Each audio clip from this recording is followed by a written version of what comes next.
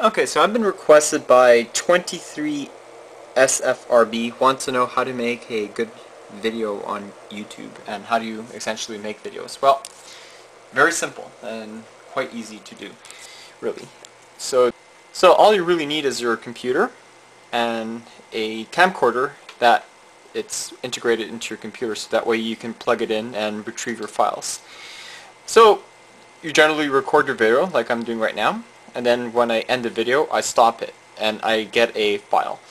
It depends on what camera you're using. I'm I'm using my Sony T70 series camera and the files are here but there's only one problem with these files. These are in MPG format and it's since I cut and make edit videos on Movie Maker, MPG format doesn't uh, comply with uh, Movie Maker. So what I do is I I download this program called Xilisoft Video Converter 3.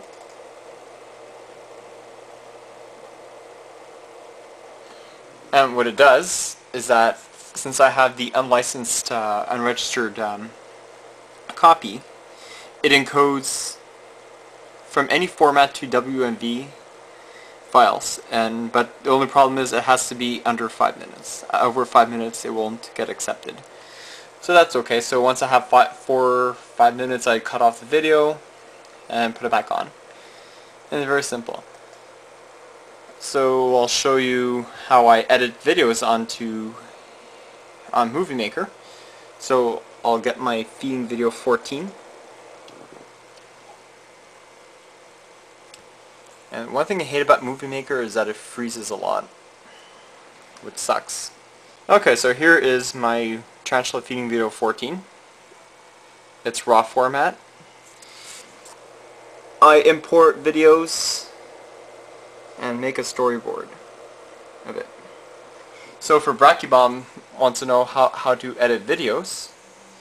So if you have Movie Maker and um, so you go to this part. Alright, tap. And so this uh, icon on the left appears here. This is your trim line. So let's say, for example, Tapinauchenius gigas, the orange, well, kind of brown tree spider. So if I don't like that, what I can do is I could just cut it off. As you see right here. So if you go here, it's the same thing. Same video but cut off. So all I do is that I go here and delete and gone. And that's how you edit. So that's why most of my tarantulas will eat right away because I edit the parts so that way it'll make the video less boring and much more shorter. So, once you put all your video, you go to save save onto your computer.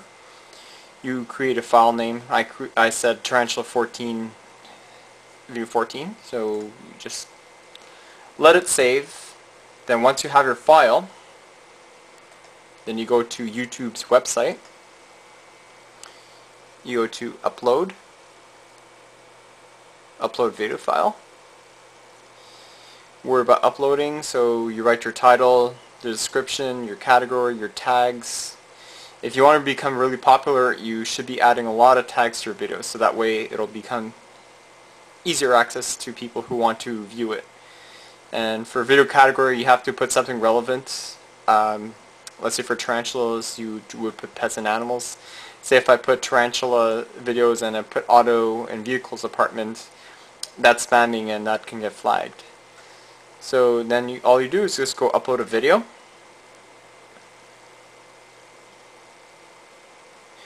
Oh, okay, so let me say, let me write something here. TF. Something like that. So, all you do is go upload a video.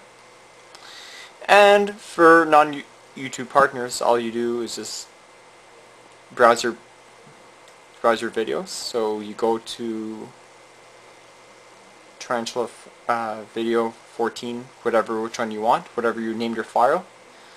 And then you go open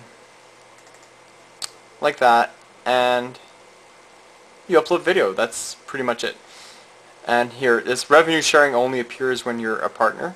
So you want to state your reasons that you own the video content of this video.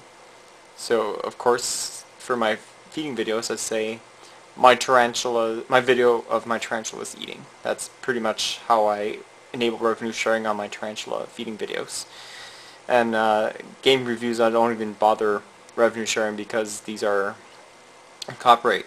But if you want to become a partner, don't bother uploading music videos, um, any form of uh, TV show, music videos, concerts, commercials without permission, unless you own the video. And uh, practically that's about it guys, so hope this helps um, you and to uploading a video onto YouTube.